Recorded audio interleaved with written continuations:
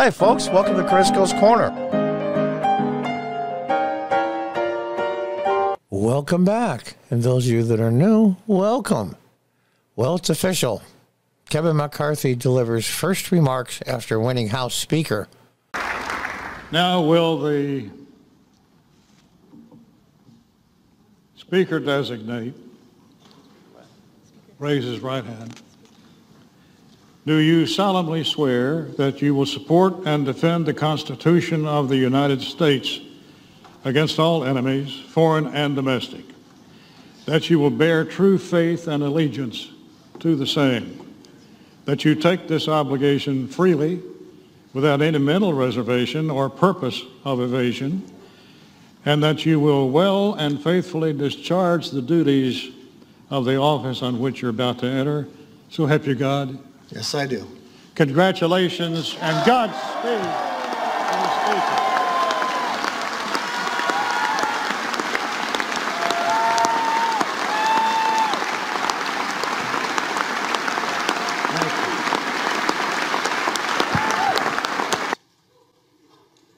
The members-elect will rise.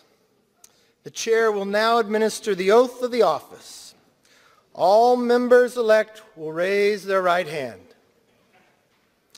Do you solemnly swear or affirm that you will support and defend the Constitution of the United States against all enemies, foreign and domestic, that you will bear true faith and allegiance to the same, that you take this obligation freely without any mental reservation or purpose of evasion, and that you will well and faithfully discharge the duties of the office on which you are about to enter, so help you God. Congratulations. You are now members of the 118th Congress.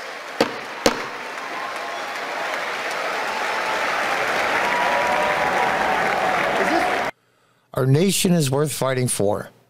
Kevin McCarthy won the speakership just after midnight Saturday with 216 votes to Democrat Hakeem Jeffries 212.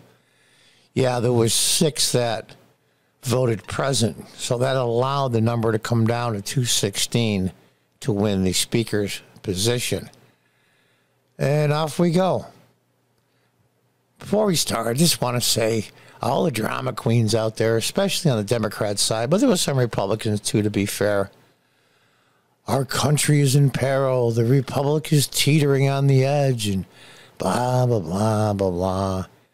Several days without officially having a Congress sworn in is not the end of the Republic or Western civilization as we know it. In fact, I'll ask the average person the last few days who probably didn't know anything about what was going on in Washington. Has your life changed any because there wasn't any Congress? The answer is, uh, no. Yeah, it took a few days. Yeah, it was ugly. Yeah, it was showing how the sausage is made. You know, it's amazing to me. It's uh, House Speaker Kevin McCarthy officially opened 118th Congress early Saturday morning. That's the other thing. Technically, it was not on January 6th, which I'm proud of, because we all know in politics, optics is everything. And how President Biden lied. I believe he said five law enforcement officers were killed during the January 6th riot. That's a lie. A lie. It's not even exaggeration, it's an outright lie. His speakership followed a dramatic week for him, slowing, slowly winning over 20 Republicans who initially did not support his speakership and defected their votes to other members. Hope one thing is clear. He said, I will never give up. I will never give up for you, the American people. And there he is being sworn in. Our nation is worth fighting for. Upon accepting the gavel as Speaker of the House, McCarthy thanked his colleagues for their support and shared his vision for uniting the legislative body. And, you know, as Speaker of the House, my ultimate responsibility is not to my party, my conference, or even Congress. My responsibility is to our country. His remarks also included awarding Hakeem Jeffries, who was selected by the Chamber's Democrats to be the House Minority Leader, which makes sense. You know, it, it's it's funny. He added to, to Leader Jeffries, there will be times when we agree and disagree. Hakeem, I need to warn you. I also won 100% of my conference vote on this floor two years ago, so good luck. Is it Hakeem Jeffries going to be able to keep the squad lunatic progressives, which he has won actually, so that's kind of odd. Nancy Pelosi was a political animal and one of the worst speakers in my lifetime. But the fact of the matter is, she was never a progressive. She went along with it for political gain only. I don't think she personally believes in it. But she did it, so might as well. It comes out the same. What's Jeffries going to do with his moderate Democrats? Ones that barely won their seats and Trump won congressional districts. Going to be interesting. McCarthy also revealed some of the priorities securing the border and attempting to eliminate some of the federal debt, which is now worth 31 trillion. He addressed the long-time challenges, the debt in the Chinese Communist Party. Yeah, the Communist Chinese Party. Besides fiscal things, that is number one threat to the United States and the Republic, bar none. They must speak of one voice on all of these issues.